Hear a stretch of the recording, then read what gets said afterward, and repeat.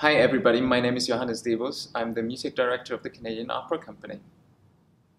Uh, first of all, after a performance of Falstaff, you, you feel a bit like taking a bath in champagne, I would say. I never tried to do that, but that's how I imagine it must feel.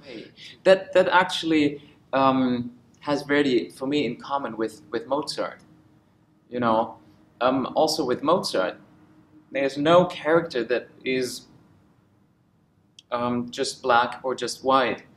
They all have so many, many different shades. Um, they are never one-dimensional, or they never go just into one direction. And it's not a matter of how many notes they have to sing or how many words they have to, to say in, in, in those pieces. It's about, at the end, how they sing as again as those, the, the, singer for such roles, how they sing those words, how they sing those lines. It's in fact it's an ensemble opera. It's an ensemble that needs this this team effort, this team geist, this team spirit, and um, you as the conductor, obviously you're a part of it. So you are in a certain way exhausted, but happy at the same time.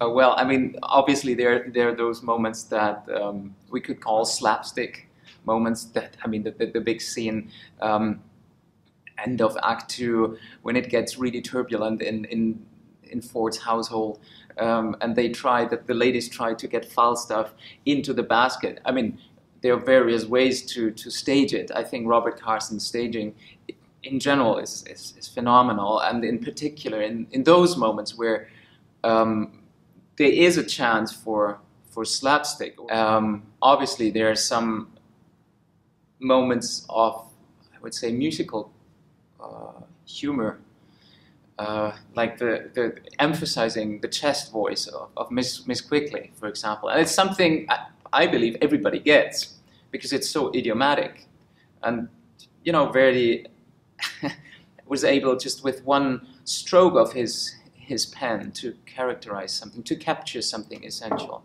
If we take that, his own biography, if we take Verdi's own biography into consideration here, then it's maybe even more astounding that he,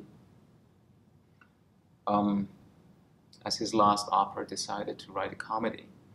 Um, um, okay, I'm looking forward, obviously, to the, the next shows I'm conducting not because I'm conducting it. I'm also looking forward to the other shows I'm not conducting. Um, no, but I think it's it's um, um, it's fantastic to be able to do Valkyrie, and I'm I'm conducting it for the very first time, so that's really exciting. Um, and also this double bill with uh, some, I think, essential uh, masterworks of the early 20th century. Um, and of course, I heard so many great things about the production, about Robert Lepage's production of um, Bluebeard's Castle at Erwartung.